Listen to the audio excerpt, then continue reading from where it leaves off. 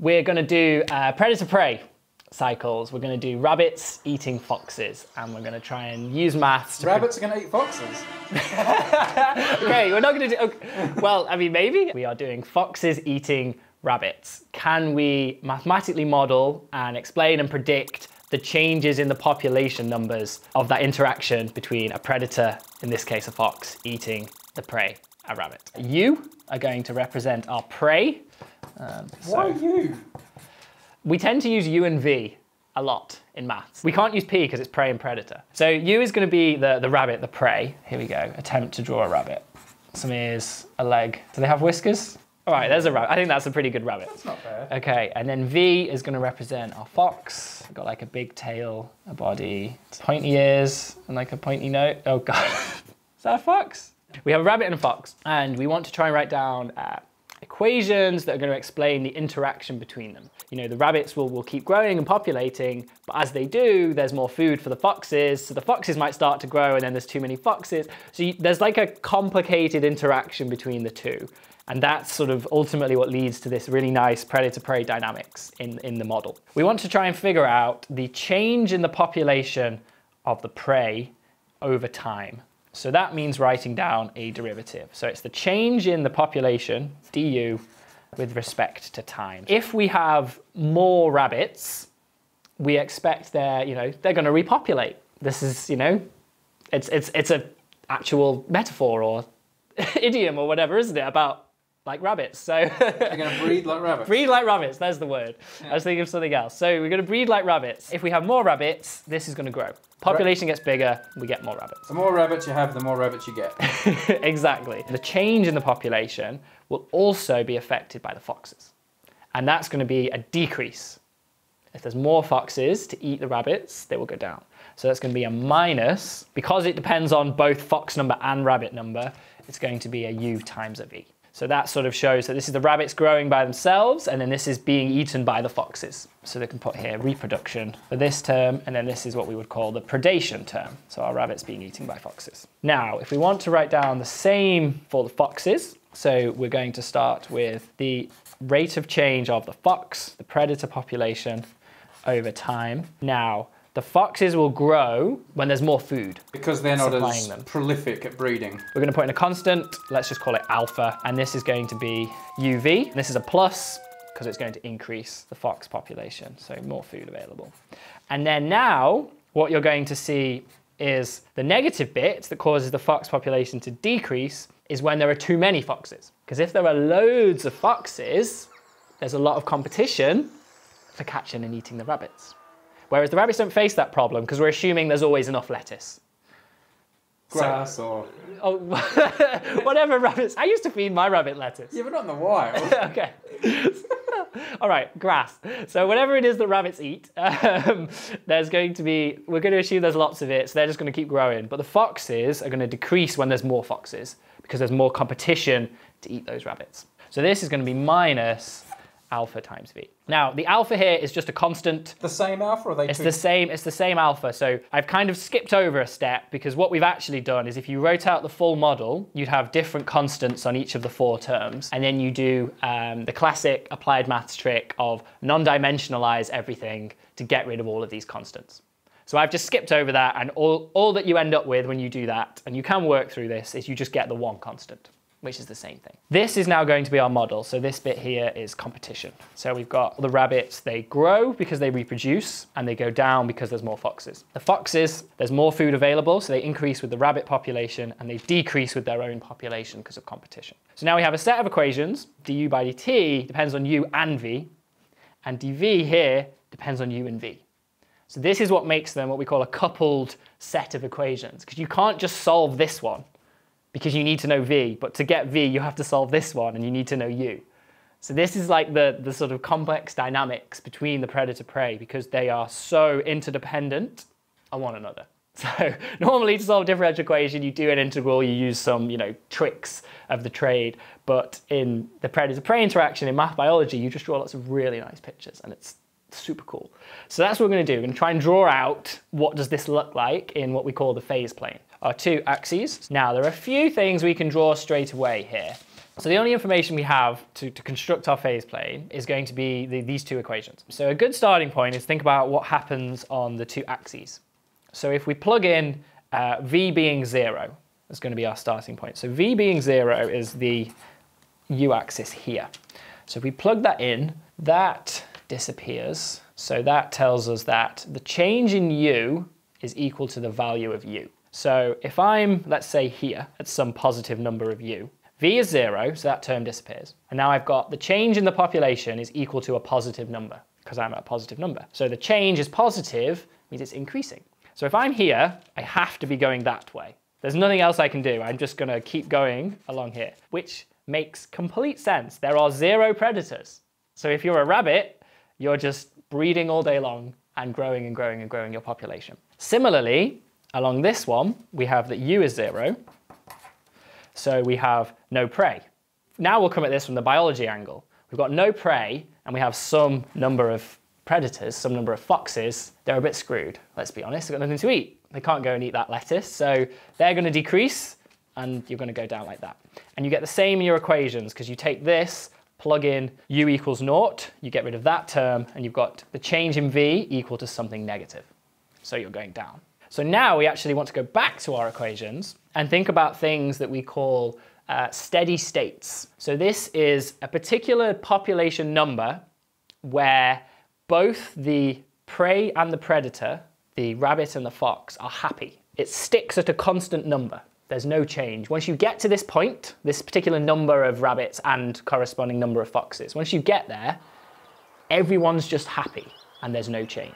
We call this a steady state. And so what that means mathematically in this equation is that u will be equal to some constant number. And so if u is constant, it doesn't change with time because it's constant. That's the sort of definition of constant. So that term goes.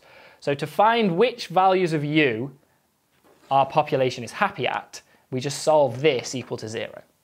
So we've got to solve u minus uv equals naught. We need to find values of u and v which will satisfy this equation.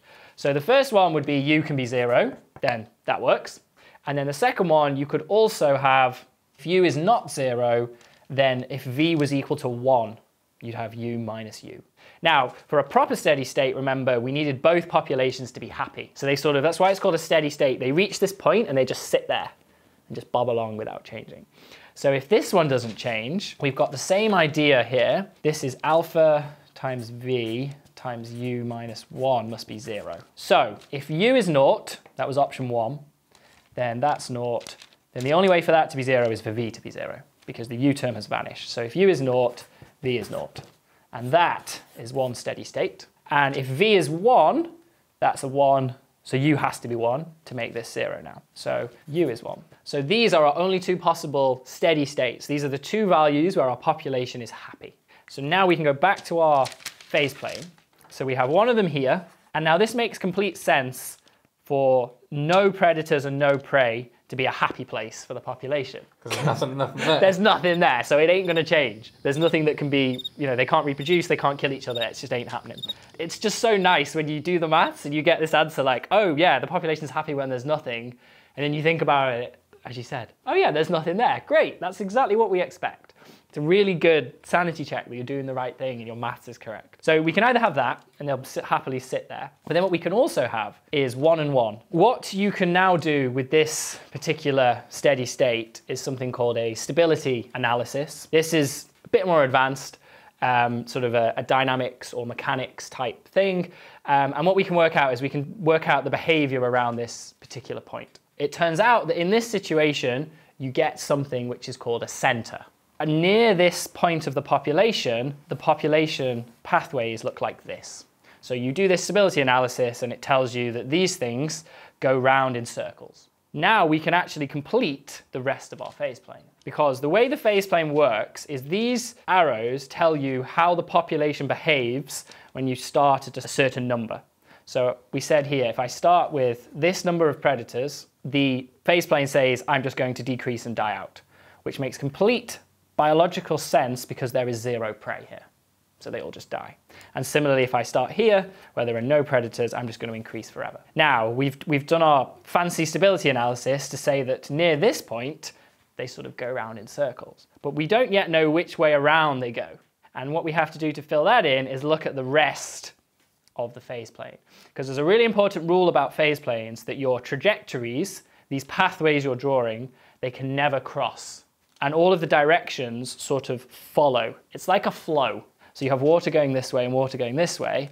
It wouldn't make sense to be sort of going like that. It would be going against the flow. Each pathway influences the pathway next to it. So what's actually happening here is you've got really big cycles looking something like this going all the way around this particular point, this 1-1 steady state situation. And so this is all consistent, everything fits, all of these directions work. Yeah, I see what you mean. It feels intuitively right, but up the top there, the, the rabbits are going the wrong way. If you think about what's happening here, so they're going opposite to down here, but they've crossed through this sort of threshold. That this, magical pole. That magical stability point, that, that bit where the population's happy. So, so what's actually happening up here is if you sort of approximately look at the numbers, your prey is on around one and your predator is like way above that. So there's, there's a lot of predators per rabbit.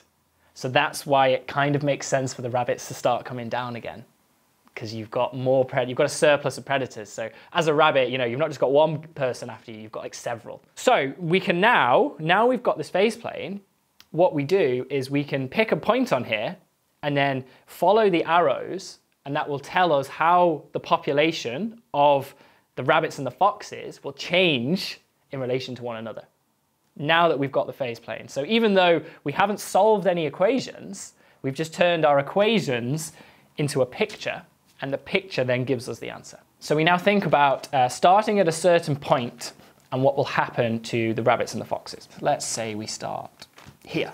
So this is going to be population number and this is going to be time.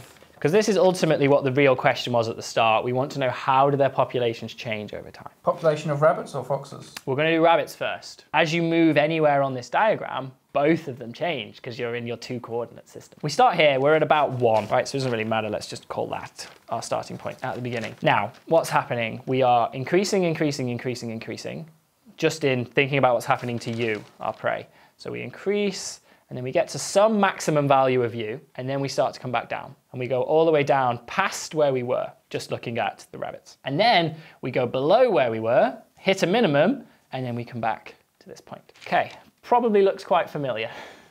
so it's some kind of oscillation. It's like a cos or a sine or something, some kind of wave-like behavior in the rabbit population. And then we're gonna just continue to go round and round this because we can't cross, we can't leave, it sort of goes around in circles. So we just continue to do this. So this is the prey, the rabbits. There you go, rabbits. Now, the foxes. So at our starting point, the foxes are below one. Doesn't really matter where, but they're below this value. Say they start down here. As we move around, they slowly increase, very slowly increase. Then they increase a bit faster. They slowly increase. Then they come around and we get to a maximum all the way up here and then they come back down to, it turns out, approximately this minimum point. So we've got a similar behavior that we saw with the rabbits, except when the rabbits started here, which is sort of halfway between their max and min, the foxes are starting approximately at their minimum value. So they have the same oscillation. So this is the predator, spiky ears and little teeth. Hmm, I don't know, that's a fox. Looks like a vampire. Fox, rabbit. As we go around this particular loop, the rabbits start to increase and increase and increase. And as the rabbits are increasing, there's quite a lot of food. So the foxes are like, oh, this is great. There's going to be more and more foxes because there's lots to eat. So there's plentiful food and supply. They're going to reproduce lots. They're to have lots of kids or whatever little baby foxes are called. And then they're going to start to increase. But then as there's more foxes, the rabbits have a lot of predators after them. So now the rabbits are scared for their lives and the rabbits are getting killed a lot. And so the rabbits start to go down, but the foxes are still increasing. But now the rabbits have gone down, there's loads of foxes, there's not many rabbits, the foxes are gonna die out. They've got a food shortage now. So they had a food surplus down here, now they've got a food shortage. So down here there's more rabbits than foxes, and then at this critical point there's now more foxes than there are rabbits. Even when the rabbits started foaling, for a while it was still good times for the foxes. It foxes. was. It's like a lag, it's lagging a little bit behind. So they're both doing this oscillation of up and down, but it's just the fox just lags a little bit behind the rabbit because until you know, if you imagine it's one rabbit per one fox, until you cross through that, it's always good for the foxes. There's always a surplus of food. There's more food than they need. So they're just going to keep reproducing. And then, you know, perhaps it's due to uh, the sort of gestation time or something for the, for the baby to be born. But then it sort of, it lags behind a bit. And then all of a sudden, the rabbits have gone down because there's too many foxes and then the foxes see their decline. And you've drawn these on on this graph. They're they're at similar sizes, but presumably the absolute numbers could be different. It could be a billion rabbits to Absolutely. a thousand foxes. Absolutely. So that's the the reason we've done the non-dimensionalization right at the very beginning. So this sort of happy place is one one. So that doesn't mean one rabbit and one fox. That sort of means the one here is like the perfect number of rabbits, and this is the perfect number of foxes. We've sort of scaled it out in that non-dimensionalization. So I've got rid of the units. I would imagine there would need quite a lot of rabbits to stay in a single fox. The non-dimensionalization, it maintains the really important stuff. So it tells you that you have this oscillation, this predator-prey cycle. It tells you that's gonna happen, but it doesn't tell you the exact numbers. But like from a sort of population dynamics idea, you don't really care too much about the exact numbers. You just want to know that there's going to be peaks and troughs in each of the populations. And you can look at actual data for any, pretty much any predator prey situation in nature, you see exactly this. You have the, the boom in the prey, followed by a boom in the predator, and then the decrease, exactly in this setup. And it all just follows from sort of those simple equations we wrote down at the very beginning, and then drawing the pretty picture of the phase plane. Just to emphasize the, the level of favoritism of these equations.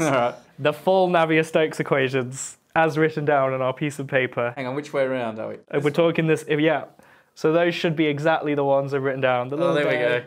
The little guy and the big guy. That's right, yeah. And just zigzagging back and forth, um, sort of living around zero, but in a really complicated way. And so the thought was that, okay, it,